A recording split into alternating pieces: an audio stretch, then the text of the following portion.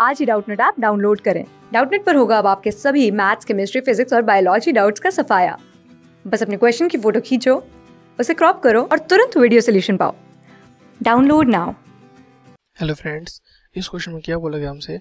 In the adjoining figure A B C D is a parallelogram and E is the mid point of A D A B C D parallelogram है। Point E जो है mid point है A D का।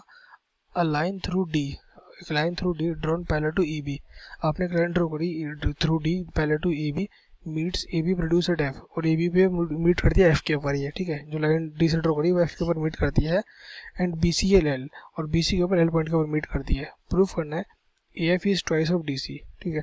जो A F है हमारा A F is twice of D C proof करना है एंड डी एफ़ प्रूफ करना है हमें D F is twice of D L ये दो पॉइंट दो चीज़ें प्रूफ करनी है हमें। तो देखो, पहले स्टार्ट करते हैं हमारे पास, जैसे इनको ये होना है कि ए बी सी डी एक पहले है हमारे पास ये यहाँ पर बोल सकते हैं हम अगर A B C D parallelogram है और ई e इसका मिड पॉइंट गिवन है। ई e क्या है अपना इसका? मिड पॉइंट गिवन है हमारे पास। तो देखो, अगर ये ए डी जो है, वो पायलट हो जाएगा बी सी के साथ हमारा। ए डी है पायलट बी सी के साथ अपना। ठीक है?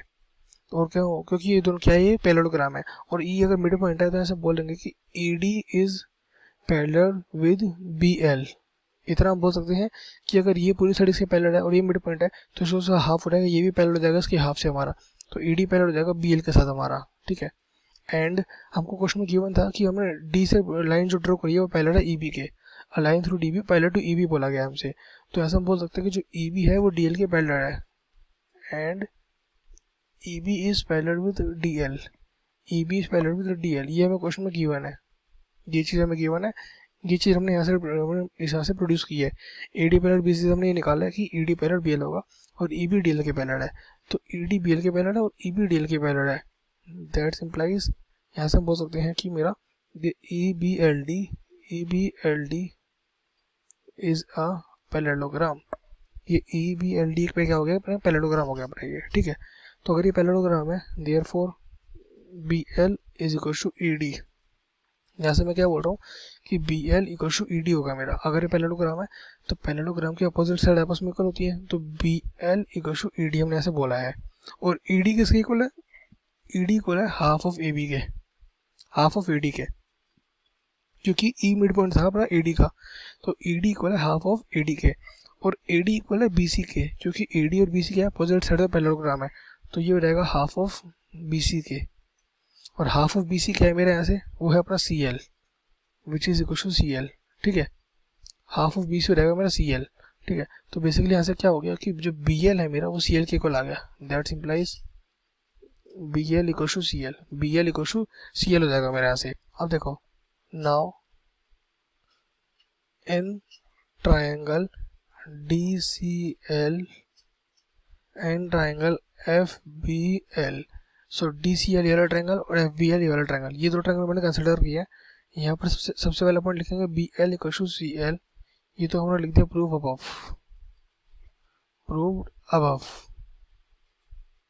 ठीक है. नेक्स्ट हम ऐसे लिख सकते हैं. Angle D L C D L C equal to angle F L B ये हो जाएँगे मेरे वर्टिकली अपोजिट एंगल ठीक है, ये वाला एंगल और ये वाला एंगल क्या हो जाएँगे वर्टिकली अपोजिट एंगल मेरे यहाँ से। नेक्स्ट लिख सकते हैं angle C D L angle C D L is equal to angle B F L angle B F L ठीक है।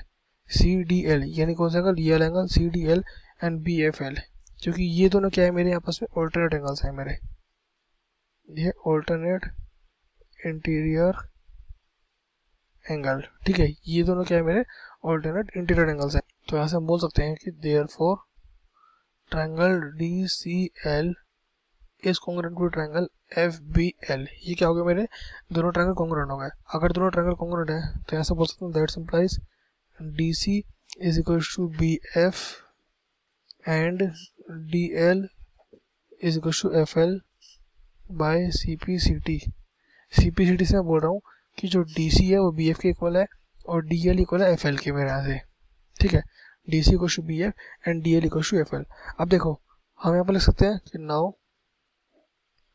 जो बी एफ़ है, वो किसके इक्वल है? डी सी के। जैसे कि हमने यहाँ पर लिखा है अभी बी एफ़ डी सी के इक्वल है और ये डी सी इक्वल है ए बी के जो डी सी है वो ए बी के इक्वल है opposite side of parallelogram equal होते हैं। ठीक है, ये ए बी के इक्वल हो गया यहाँ से। दैट सिंप्लाइज इसको मैं क्या लिख दूँगा? देखो, यहाँ से हम लिख सकते हैं, क्योंकि मैंने यहाँ पर बोल दिया बी एफ़ और ए बी आपस में इक्वल हो गए। ये हमने देख लिया बी एफ़ और ए बी आपस में इक्वल हो गया यानी बी मिड पॉइंट हो गया अपना ए एफ़ का। तो जो ट्वाइस ऑफ़ मेरा यहाँ से बोल सकते हैं हम ट्वाइस ऑफ़ ए बी है। ए बी का ट्वाइस करेंगे, वो पूरा किसके इक्वल आएगा मेरे यहाँ से? इसको मैं देखो, यहाँ पर लिख सकता हूँ। क्योंकि डी सी कुछ ए बी है ना। देखो, इसको यहाँ से मैं लिख रहा हूँ, अगर twice of A B is equal to twice of D C ठीक है? Twice of A B equal to twice of D C लिख रहा हूँ। और ट्वाइस ऑफ़ ए बी का मतलब क्या हो गया अपना? ट्वाइस ऑफ़ ए बी का मतलब ए एफ़ क्योंकि ए बी और ए बी एफ़ आपस में कल है तो ये हो गया A F that implies A F equal to twice of D C तो फ़र्स्ट पार्ट तो प्रूफ हो गया अपना, कि A F equal to twice of D C अब प्रूफ करना है D F equal to twice of D L ये मैं प्रूफ करना है। इसके लिए मैं यहाँ पर देखता हूँ। हमने ये लिखा था D L equal to F L C P C. T से तो इसको कंसिडर करते हैं D L is equal to F L that implies D F is equal to twice of D L अगर डी एल और F L आपस में equal है डी एल और एफ़ एल आपस में इक्वल है तो जो मेरा डी एफ़ हो जाएगा, वो ट्वाइस ऑफ़ डी एल हो जाएगा, क्योंकि हमने प्रूफ कर दिया कि ये दोनों आपस में इक्वल है एल इसका मिड है। तो डी एल जो डी एफ़ जो हो जाएगा अपना, यहाँ से डी एफ़ पूरा, वो ट्वाइस ऑफ़ डी एल हो जाएगा okay thank you friends class six से ट्वेल्थ से लेके NEET I I T JEE mains और एडवांस के लेवल तक, दस मिलियन से ज़्यादा स्टूडेंट्स का भरोसा। आज ही डाउनलोड करें डाउट नेट आप या व्हाट्सअप कीजिए अपने डाउट्स आठ चार सौ चार सौ चार सौ पर।